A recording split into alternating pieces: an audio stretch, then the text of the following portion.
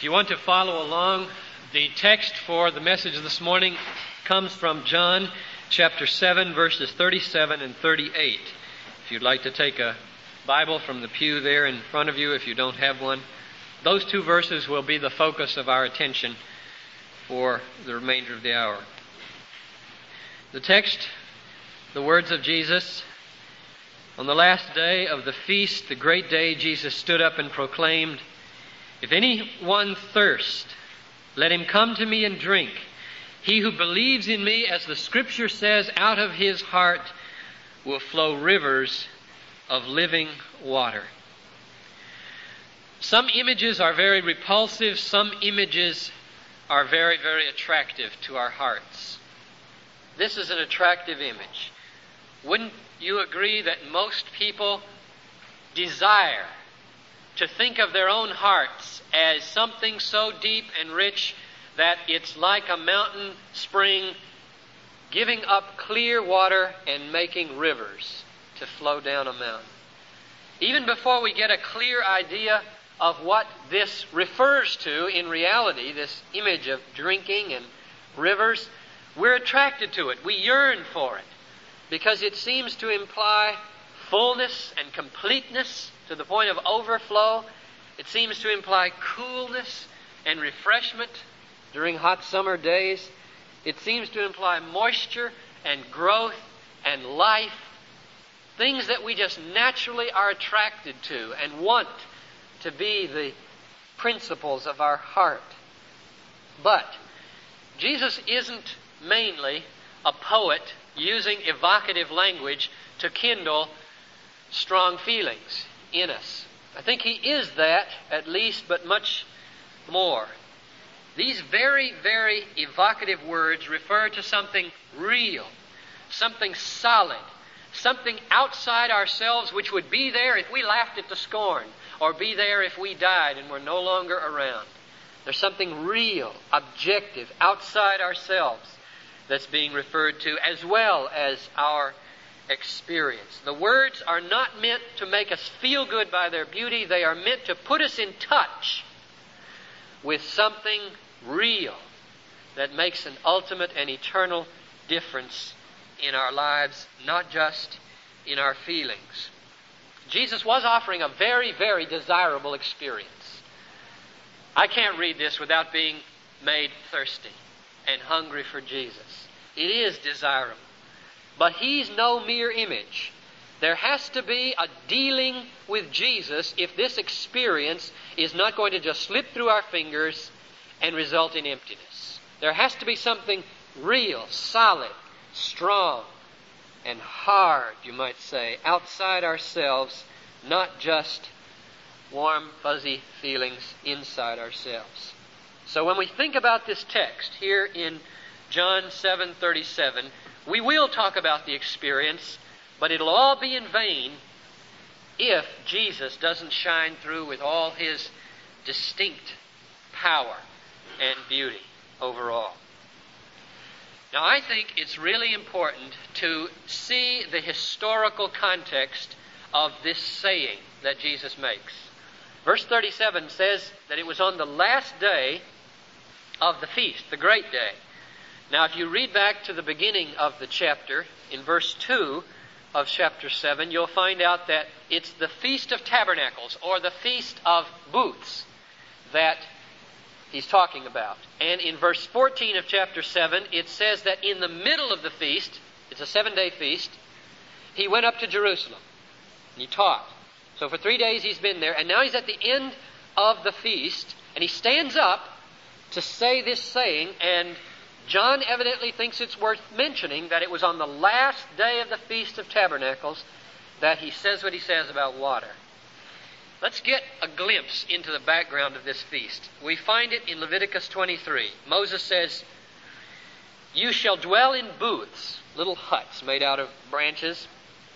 Dwell in booths for seven days, and all native in Israel shall dwell in booths, that your generations may know that I made the people of Israel dwell in booths when I brought them out of the land of Egypt. I am the Lord your God. God ordained that the people of Israel have constantly brought back to their mind his gracious and powerful deeds through recurrent festivals or feasts. And so this is one of those feasts. God's purpose in bringing the people out of Egypt and then blessing them and guiding them through the wilderness was to demonstrate to them how powerful He was on their behalf and how much He loved them, so that never again would they go after any other God but cleave only to Him. That's the main point. Now, the Feast of Booths reminds the people of this trek through the wilderness right after they left uh, Egypt and were heading towards Sinai. And during that time, you'll remember, God miraculously took care of them in a number of ways. One of the needs he met was water. In Exodus 17, Moses tells us how the people, soon after they had left Egypt, passed through the wilderness of sin, headed down the Sinai Peninsula, arrived at Rephidim, and camped. And there was no water there. And instead of trusting God, who had split the sea wide open for them, to show them He could always take care of them, it says that the people thirsted there for water and murmured against Moses. So Moses goes to God, throws up his hands at this people, asks God for water, and God cleaves a rock, and water comes out for the people so that they can drink and satisfy their thirst in the wilderness.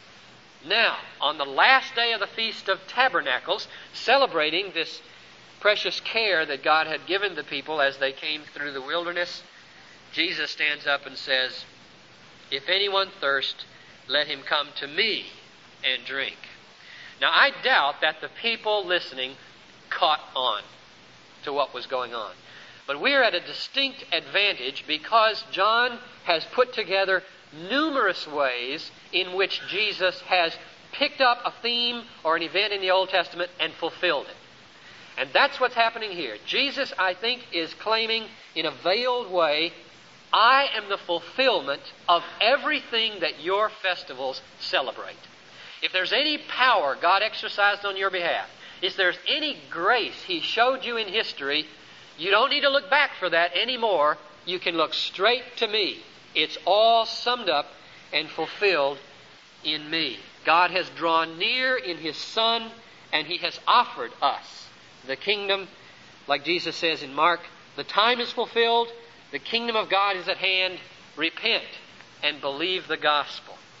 So, when Jesus cries out at the Feast of Booths, If anyone thirst, let him come to me and drink, I understand this to mean if you're thirsty for God, Israel, focusing first just on Israel, then we can take it as it applies to us. If you're thirsty for God, if you're longing for the consolation of Israel, like Simeon was, if you are yearning and eagerly looking for the kingdom, like Anna was, if you desire deliverance from oppression and sin, you don't need to look back anymore. You don't need to look forward anymore.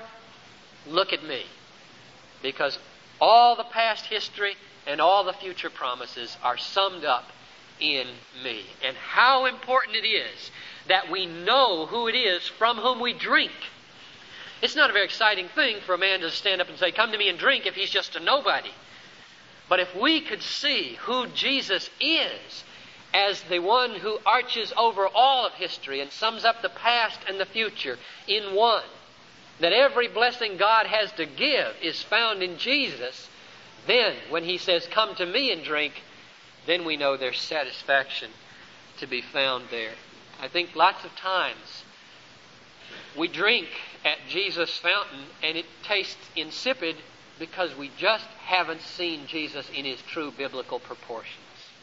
We have not gathered together the mighty acts of God and shown that here is the embodiment of all the glory that the future has to offer and all the great deeds that the past recorded. But if we catch that, then we'll come to him and we'll drink. Now, I think we're in a position better to look directly at the invitation itself. If any man or any one thirst, let him come. There's an invitation and there's a condition. The invitation is without any boundaries ethnically, intellectually, socially, The word goes out to everybody. Everybody in this room, no matter who you are, receives a personalized invitation from Jesus to come and drink at his fountain and become rivers of living water. My father um, is in evangelism and has been in evangelism for 40 years. And he told me, and this is, by the way, an explanation of how this condition of thirsting is necessary. Not only is the way open to anybody, that person has to desire to come.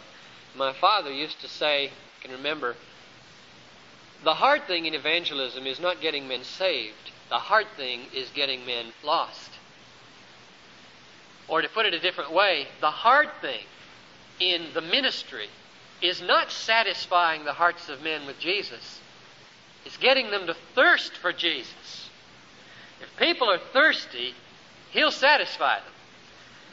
But there's great competition for our taste buds, and we do not naturally thirst for God anymore.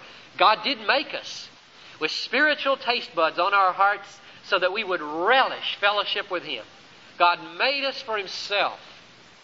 But now we have become sinners. And what that means, I think, most fundamentally, is that these little taste buds on the tongue of our soul are diseased, calloused. Calluses have grown over them. And no longer is it in the least attractive to drink Jesus for the average fallen person. All men thirst, but not all men thirst for God. And that's the prerequisite for coming to Jesus. We're the only species, aren't we? The only species in creation who are cursed and blessed with chronic longing, chronic restlessness. Dolphins are content to play in the sea and frolic around in the ocean. Dogs are content to lie in the sun. No neuroses at all. Frogs are content to bump their belly from pond to pond. But man is always restless, never content. Never. Everything we set our hand to gets old. We're weary of it. We fight an unending battle with an epidemic of boredom. No matter how challenging your job is, fad after fad, fashion after fashion, challenge after challenge comes our way and leaves us thirsty when it's all over. And we wonder what more there could be. Why? Why? It's a blessing. It's a hidden blessing. There's a poem called The Pulley by George Herbert from the 17th century. And it expresses so beautifully this purpose of God in our restlessness. Listen to this poem called The Pulley. The, the pulley means God's pulley, how to pull us to Himself. When God had first made man, having a glass of blessings standing by, let us, said he, pour on him all we can. Let the world's riches which dispersed lie contract into a span. So strength first made a way, then beauty flowed, then wisdom, honor, pleasure. When almost all was out, God made a stay, perceiving that alone of all his treasures, rest in the bottom lay. If I should, said he, bestow this jewel also on my creature, he would adore my gifts instead of me and rest in nature, not the God of nature, so both should losers be. Yet let him keep the rest, but keep them with repining restlessness. Let him be rich and weary, that at last, if goodness lead him not, yet weariness may toss him to my breast. We are afflicted and blessed with a chronic restlessness as human beings, and unique among all the creation like that. An insatiable soul thirst for we know not what. And the reason is this God aims to keep us searching until we find our rest and our water in Jesus. And He aims that once we've found it, to keep turning us back as we are tempted to go and dabble at this spring and dabble at that spring. He makes it taste terrible. The taste buds of our souls were made to relish fellowship with God. But we've become sinners, and therefore, if we're going to come to Jesus and drink, there has to be some surgery, some physician work on our soul. And Jesus called himself the good physician. He's got to reach in there, cut away these calluses, tenderize, bring those nerves back to life again that have grown old and dead, so that when the water touches them, we sense here's life. This is where satisfaction is to be, to be found. Paul said, The unspiritual man does not receive the gifts of the Spirit of God, for they are folly to him. An unspiritual man is simply a man who's got no spiritual taste buds. And therefore, when he sees spiritual people delighting to come to Jesus in worship and study and witness and service, he just scratches his head and says, fool or hypocrite or this makes no sense at all. There are no ways he can understand it. And that's a tragic thing. Jesus gives an invitation, and he gives it with the assumption that we can be changed. That's a dead issue for the person who's spiritual. He hears Jesus say, Come to me, all you who are thirsty, and that person says, uh, I don't, uh, I don't see anything in that invitation that I'm the least bit attracted by. But God is gracious, very, very gracious. He frustrates, mercifully frustrates the human race again and again and again.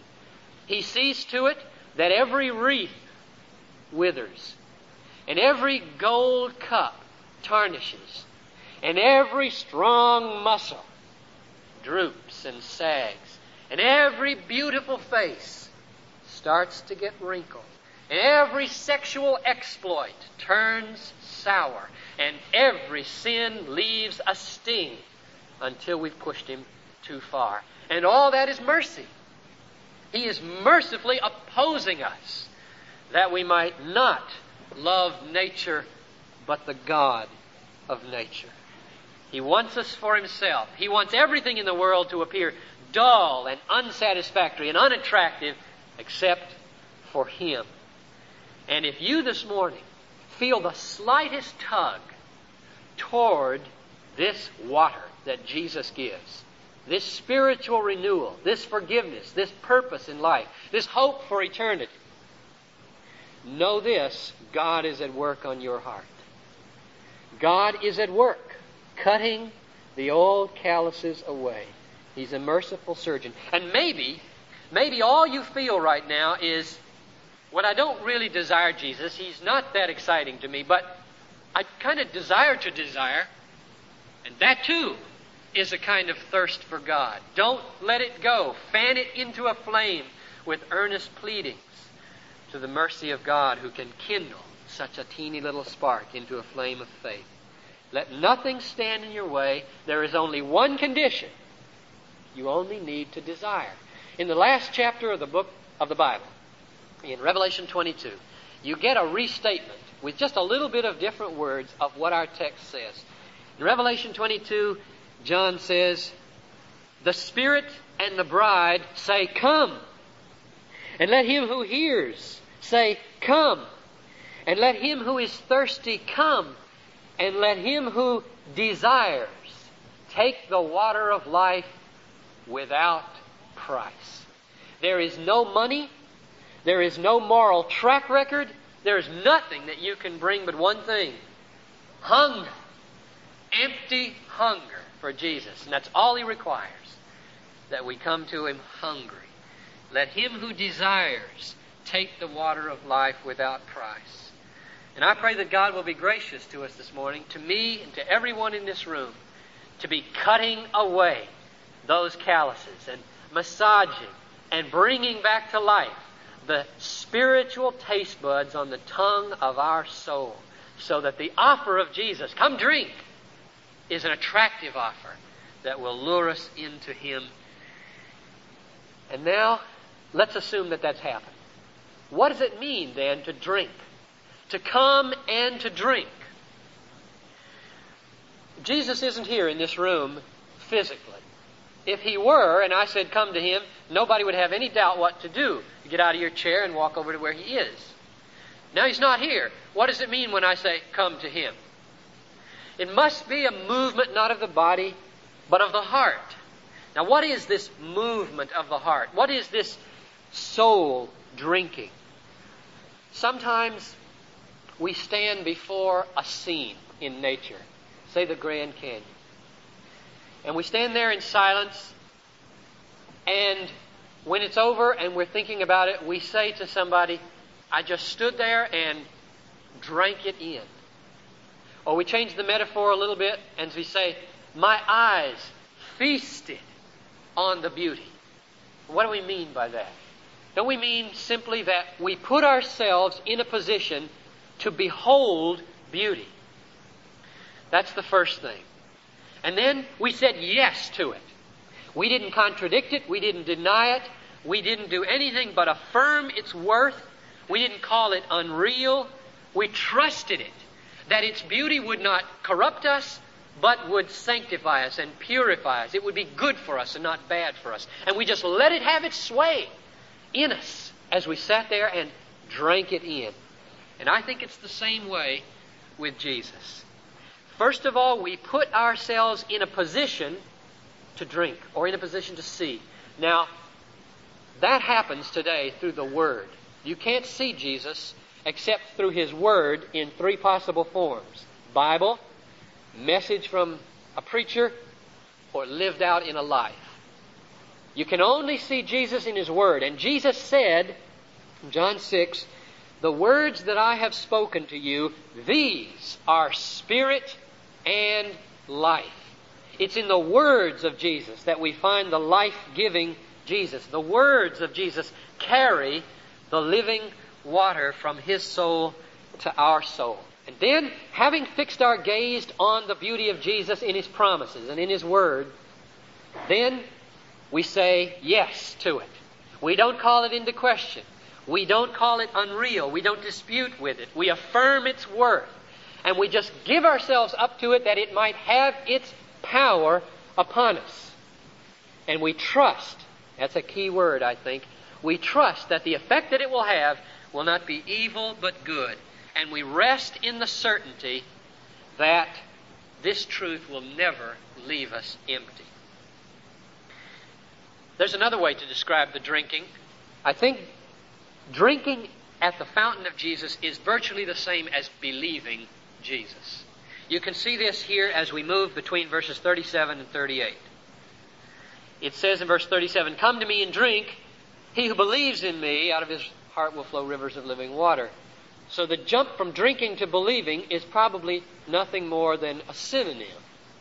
And I find that confirmed when I look at chapter 6, verse 35, where it says, He who believes in me shall never thirst. So believing Christ is virtually the same as drinking Him in. We see His words placarded before us, we fix our faith on them, and the joy of those promises flows in, and that is drinking. The essence of drinking is trusting in the promises of Jesus. And the reverse is too true also. The essence of trusting is being satisfied by the water or the promises of Jesus. Drinking is believing, and believing is drinking. And now notice the difference between verses 635, chapter 6, verse 35, and our text. There's a crucial difference here that I think helps us catch on to something very important. In John 6:35, we find the promise that if we believe, we'll never thirst again. But that's not what we find promised in our text in verse 38 of chapter 7. In our text it says, "If anyone thirst, let him come to me and drink." He who believes in me, as the scripture has said, out of his heart will flow rivers of living water. 635 promises fullness up to the brim. 738 promises overflowing, over the brim. We're not just going to be receptacles, we're going to be also rivers. And that meets one of our deepest longings, I think. In drinking from Jesus, we become not merely receivers, we become rivers. And that is what we desire probably more than anything. Now, notice three things that have to be related here drinking from Jesus, feeling complete satisfaction so that we never thirst, and overflowing in blessing to other people in love and to God in praise. Now, how do those three relate? A few years ago, I would have said something like this Well, first of all, you've got to come to Jesus and drink. Then, having drunk deeply at the fountain of Jesus, you're full. You're satisfied. All your needs are met. And then, third, as a result of that fullness, you spill over onto other people so that blessing others is a result of being fully satisfied. And now, I don't think that that's adequate anymore for two reasons, that way of relating those three things. There's a text and there's an experience that keeps me from thinking that's adequate. The text is Acts 20, 35, which says, It is more blessed to give than to receive. Now, if, if that's true, then full blessedness does not precede and enable giving. It is found in and because of giving. So it's just not adequate to say, first you drink from Jesus, then you're fully satisfied, then you give to others out of your complete fullness. Because you've got no complete fullness, evidently, until you are giving, because it's more blessed to give. That's the textual reason. There's this experiential reason. Don't we all know from experience that what we long for is not at rock bottom to be a receptacle, but to be a river. We all know, you have all experienced times in your spiritual life when you have drunk deep in some spiritual time, whether through preaching or Bible study or a conference, but it has gone sour on you. And the pool became brackish rather than becoming a fountain that flows out. And the reason for that is that evidently we can't maintain joy in God if God is not flowing through us, but only flowing into us. So the way I would explain those three things now is this. Everything starts with thirsting for Jesus. Everything starts with feeling a soul hunger for Jesus Christ. And then two things happen. When that touches our soul, we get thirstier. We want more and more, like Paul talked about in Philippians 3. But the other thing that happens, it's like magic. I, I like to think of it as Jesus' uh, magical farming. A drop of his living water falls on the dry, parched ground of our heart. And we might think that all that happens is a little pile of mud is formed. But in Jesus' magic, what's formed is a little spring and starts bubbling up. And that leads us to the second point, which was third. Now it's second. We drink in when the blessing of Jesus, which we sense to be really satisfying and what we really want in the long run, touches our hearts springs start to bubble up. And we give. We overflow onto others. Praise to God, love to each other. And third, as a result of that, and in that experience, we know satisfaction. A satisfaction that alone can really meet our needs. Now, one final comment, and I think this will take us back to where we began lest we think of our getting from Jesus, our overflowing onto others, and are experiencing deep lasting satisfaction is just all a subjective group of emotions resulting from some evocative language in the Scripture. Lest we think that's the case, John adds verse 39. Now, this he said about the Spirit, which those who believed in him were to receive. For as yet the Spirit had not yet been given, because Jesus was not yet glorified. Do not think that what you receive from Christ by faith and give to others in love is just a subjective experience. It is God, God the Holy Spirit. You can find it in many places in the New Testament, especially Galatians 3 and Galatians 5. It is by faith in the promises of Jesus that we receive the Spirit into us, drinking Him in. Paul says we've all drunk of one Spirit. And it is by faith that the fruit of the Spirit flows out in love. In this motion, it is not mere subjective feelings that's going on. It is a divine transaction, and God Himself is at work. And I find that tremendously encouraging. That gives marrow to the bones of my subjective experience. It assures me, it comforts me to know that behind all the promissory notes of the gospel stands the stable currency of divine objectivity outside myself, not just inside me by my emotions. And so, my prayer for all of us this morning in conclusion is that the Spirit might work on us, even now, as you hear these words, might start with His merciful scalpel and remove some of those calluses, massage some of those taste buds on the tongue of your soul back into life so that when Jesus offers water from Himself, it's attractive. It's desirable. It's like water on a hot, hot day. And then if that happens, then we can be assured that the most important and desirable thing of all will happen. Namely, He will make us rivers of living water. And that's what we desire above all. We don't want to be merely receptacles. We want to be rivers